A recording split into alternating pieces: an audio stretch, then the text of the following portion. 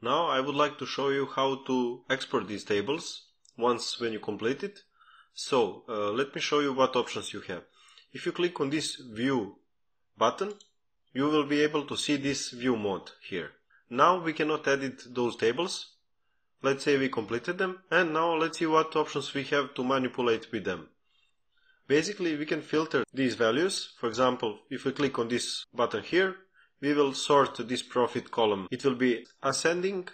If you click once more, it will be descending. And let's try to click on this cost of sales. If you click one more time, we will be able to sort it ascending.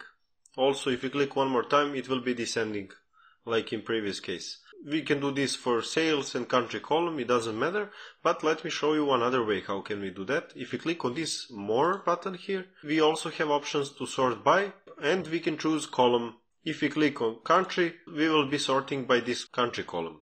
So basically we can do the same by using this sort by option. If we click on this reset button, we'll basically reset everything. If we click again on this more option, also what is important to see. Now we cannot reset this table because we already did. We only can reset if we make some changes of this table.